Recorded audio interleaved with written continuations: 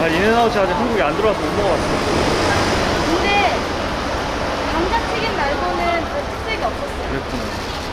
되게 맛있다고 하는데.